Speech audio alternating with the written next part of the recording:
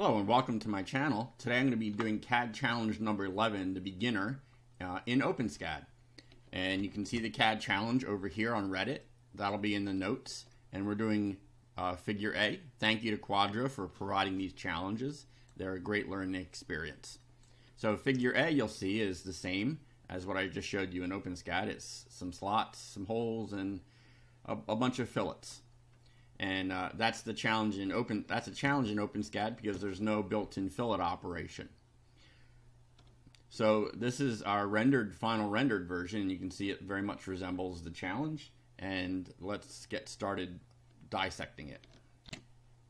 So to examine this, first we're going to look at the base and I've separated each of these components into modules.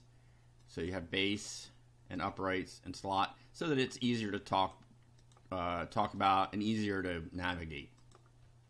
So to start out with, I'm going to hide everything but the base so we can discuss it more easily.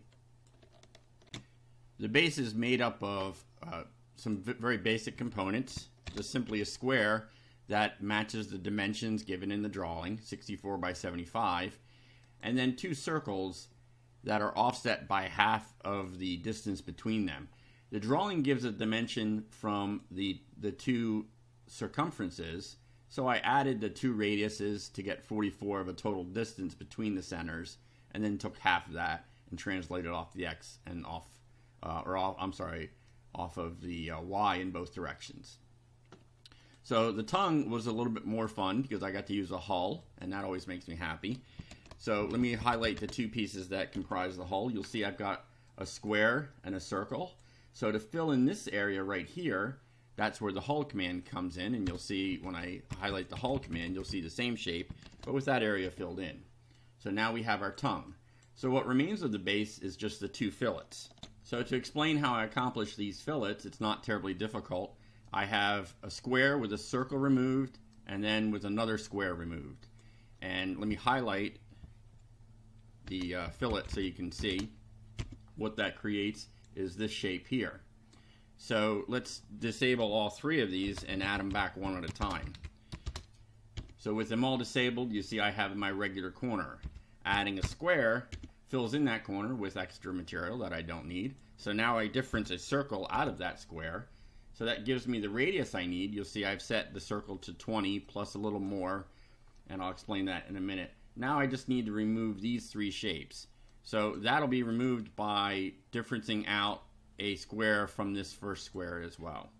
So let's so I've rotated it by 45 degrees to to just get rid of uh, what I want.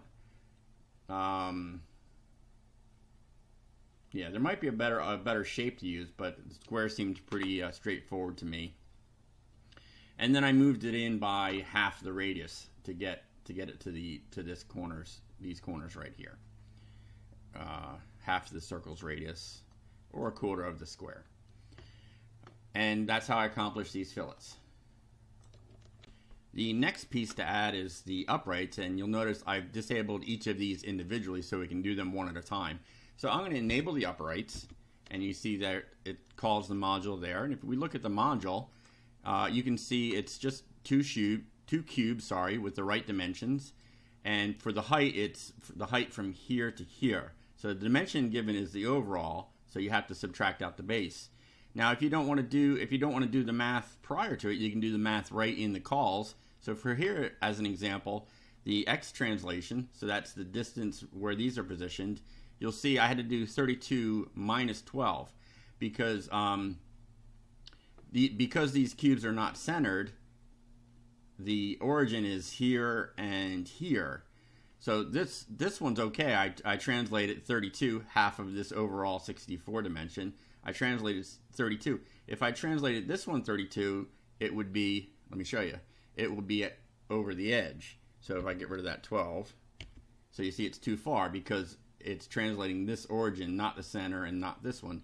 So I need to subtract the thickness of this. So I do that right in the call in the in the module call there, and that gets our uprights and uh, they're complete. The next feature to complete are the slots, and I've re-enabled it and highlighted the two cylinders I'm using to remove the material. Let's move over to the drawing, and this is what we're trying to complete. and you can use these measurements. That's seven from the side to the to the diameter edge, and seven from the top down to the edge of the diameter.